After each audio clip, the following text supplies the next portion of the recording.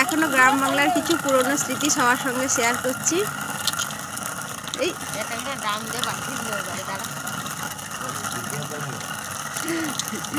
বেগুন কীরকম করে বিউলির ডাল ভাগা হচ্ছে? দেখো দেখো, বিউলির ডাল বিউলির ডাল ভাগা হচ্ছে হ্যাঁ কে- এই দেখো, এই।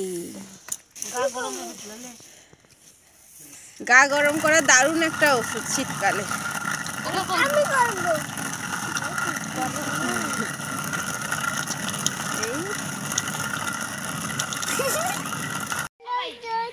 সাত ঘণ্টা ডালটা ভিজিয়ে রাখার পরে এইভাবে আস্তে আস্তে হাত দিয়ে ঘষে নিয়ে ভালো করে ধুয়ে নিলে বাটার জন্য ডালটা রেডি হয়ে যাবে। ও মা তুই কি করছিস রে? এই মা কি করছ তুমি? হ্যাঁ? কি করছ মা? চাল কুমড়ো কাটছো? দেখি। কি হবে? বড়ি দেবে তুমি? বড়ি দেবে তো? চাল কুমড়োগুলো ভালো করে বীজগুলো, বীজ, বীজগুলো বার করে নিতে হবে ভালো করে। বীজটা বার করে নিয়ে এই দেখুন এ করে রেখেছে এই ছাগনি দিয়ে। কাপড় দিয়ে রেখেছে ঝুড়িতে। কাপড়ে ফেলে ছেঁকে নিতে হবে ভালো করে। দিয়ে রোদে শুকিয়ে নিয়ে বীজগুলো থেকে এর যে শ্বাসটা আছে ওইটা আলাদা করে নিতে হবে। ওই শ্বাসটাকে ভালো করে একটু রোদ্দুরে ভালো করে জলটা শুকিয়ে নিতে হবে রোদ্দুরে দিয়ে। দেখো, সেও লেগে পড়েছে। চাল কুমড়ো এটা। ইয়ে কে করছে? চাল কুমড়ো কে করছে? কে চাল কুমড়ো করছে রে?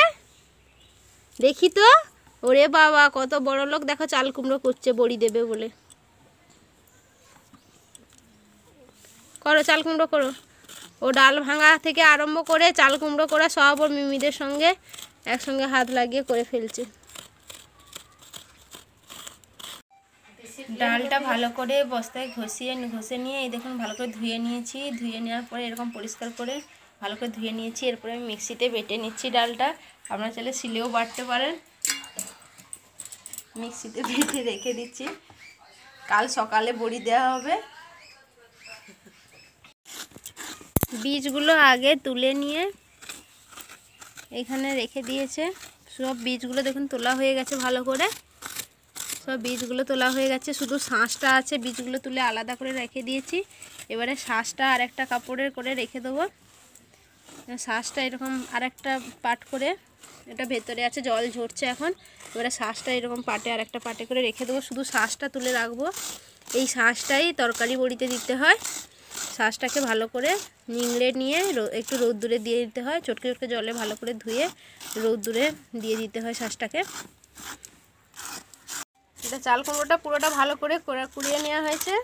এরপর দেখুন এইভাবে কোড়াগুলো শাঁসগুলোকে এইভাবে আলাদা করে রেখেছি।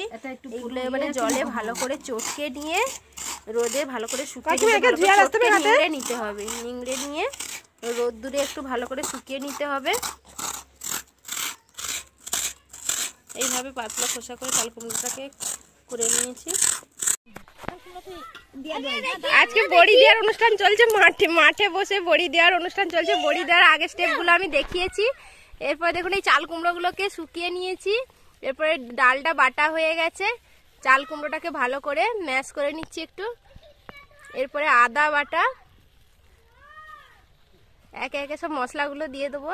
আদাটাকে থেতো করে রেখেছি, খুব বেশি প্লেন করে বাটা হয়নি, থেতো করে রাখা আছে। মেথিকে গুঁড়ো করে, ভেজে গুঁড়ো করা আছে। মেথিটাকে ভেজে গুঁড়ো করে নিয়েছি।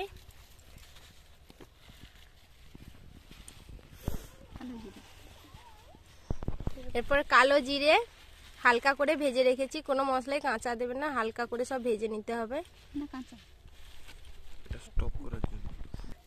এরপরে রাঁধুনি মশলা সব রোদে দিয়ে ভালো করে গরম করে রাখা আছে। রাঁধুনি মশলা।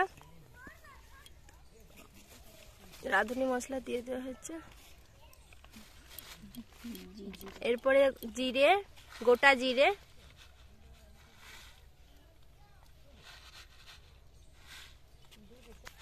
এবার মৌরি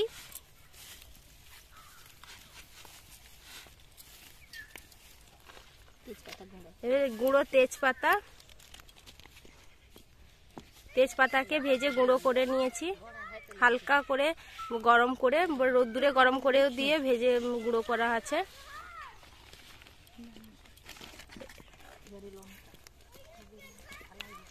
এবার লঙ্কাগুলো ফ্লেক্স করে নিয়েছি। খুব বেশি গুঁড়ো করিনি, আধা গুঁড়ো করা আছে। দেখুন, লঙ্কাগুলোকে ফ্লেক্স করা আছে।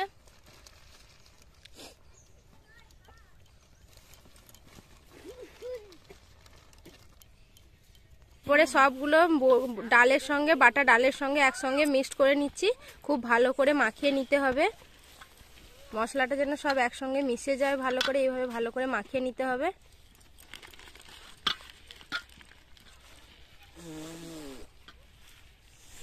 দেখুন এরকম সুন্দর করে সমস্ত মশলার সঙ্গে মিক্স করে নিচ্ছি ভালো করে। দেখুন, বড়ি দেওয়ার সমস্ত আস্তে আস্তে সরঞ্জাম এসছে। এটা তরকারি বড়ি, চাল কুমড়ো দিয়ে তরকারির বড়ি হচ্ছে। এরপরে সে পাশে নকশার বড়ি, সব সরঞ্জাম চলছে। দেখুন, প্রকৃতিটা কি কত সুন্দর। এটা দেখি সবাইকে দেখে।